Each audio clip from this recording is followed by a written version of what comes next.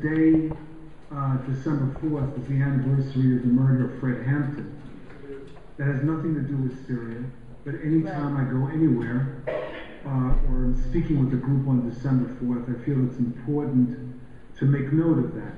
Uh, the loss of a, a great leader, the Black Panther Party uh, in Chicago, and a victim of something called the counterintelligence program. And, um, you know, I think that we should, if you're not familiar with that, it was an FBI program uh, that helped to destroy many organizations. And with the election of Donald Trump, I think that we should anticipate that something very similar will reemerge. And so we, we should learn the lessons of COINTELPRO and pay homage to the memory of Fred Hampton. Um, you know, frequently when African Americans speak out about anything other than race, or if we're speaking about foreign policy, anything other than Africa, we are instructed by the mainstream that we should keep our mouths shut or speak only about those things that we supposedly know something about.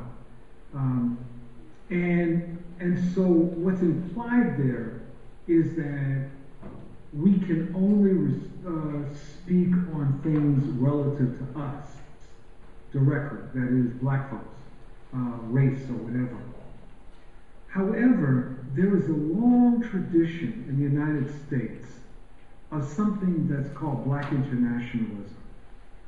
And what this refers to is that there's a current within black America that has always been highly conscious of global issues and the importance of global solidarity.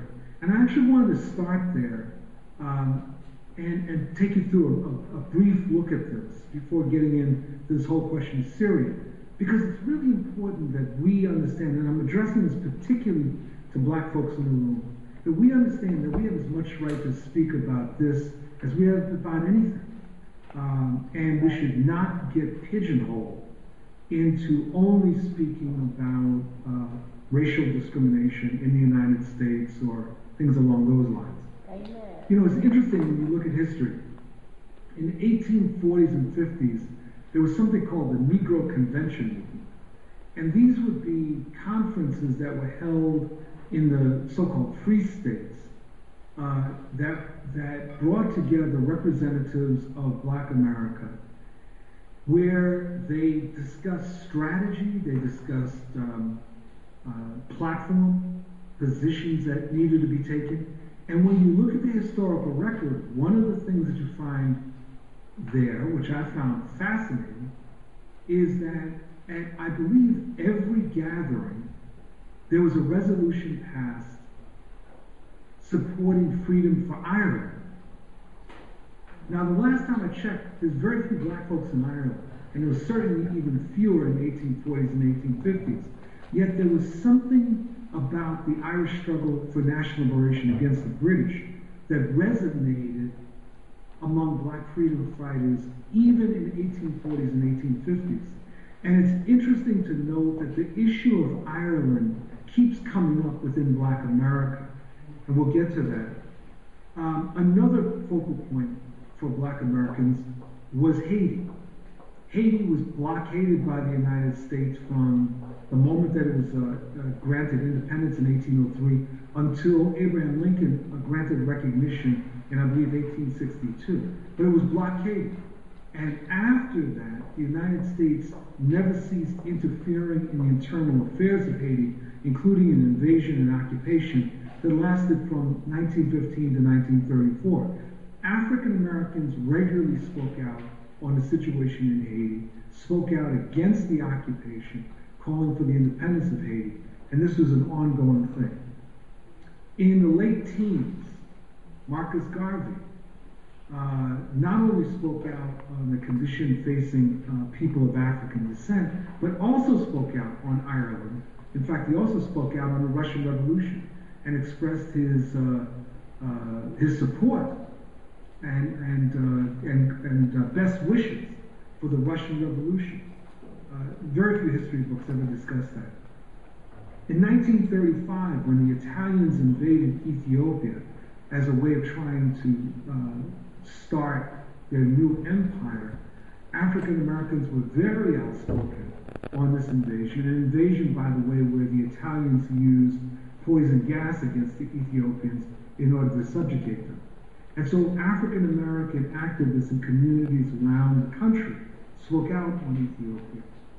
Um, a year later, the, uh, when the Spanish Civil War erupted, African American activists, including the well-known Paul Robeson, were among the most outspoken against this fascist uprising that took place.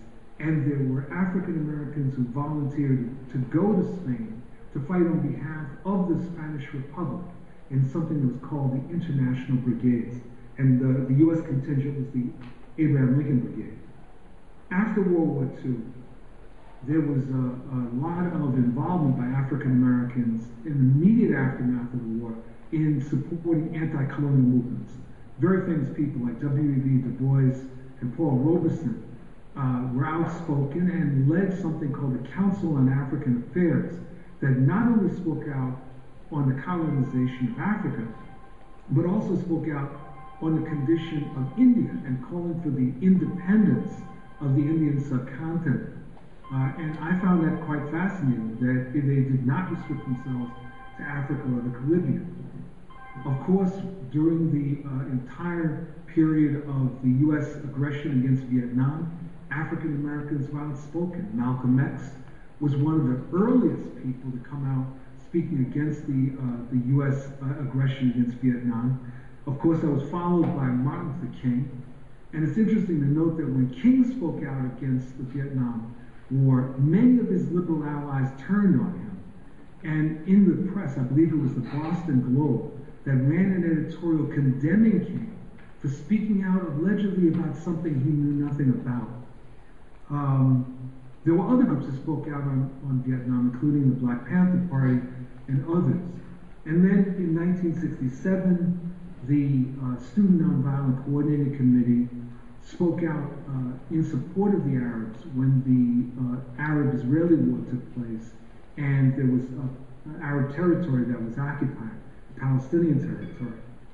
And then in return to the issue of Ireland, uh, there were constant delegations, and uh, the, the state representative and former mayor candidate Mel King in Boston led a delegation, it was called the Black and Green Delegation, that went to Ireland and, and expressed its solidarity with the Irish Catholics against the British and calling for the unification of Ireland. So the whole point here is that black internationalism is not new. We should be speaking out about any of these issues of international injustice, and we should absolutely be speaking out about Syria.